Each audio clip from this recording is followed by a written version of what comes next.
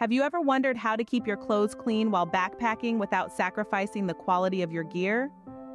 The art of minimalist laundry is all about striking the right balance.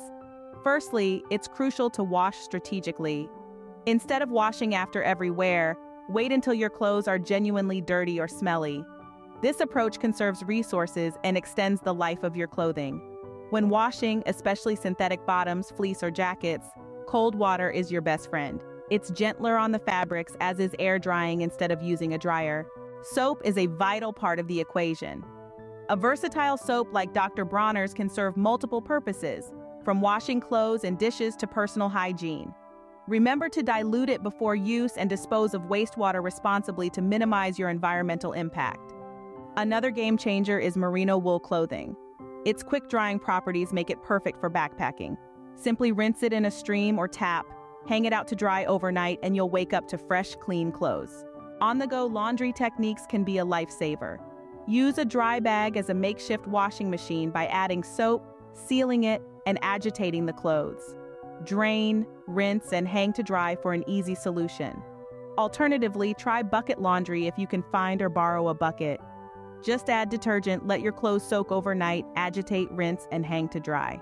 When packing for your trip, include a clothing hanging line, thin paracord, or something similar for drying clothes. A small pack of detergent can also come in handy for sink washing. In terms of clothing, consider the climate and opt for quick drying fabrics, especially for shirts and underwear. Practical packing and washing involve planning your clothing inventory based on laundry opportunities. Bring enough undergarments and consider alternate washing methods like using a dry bag on the go.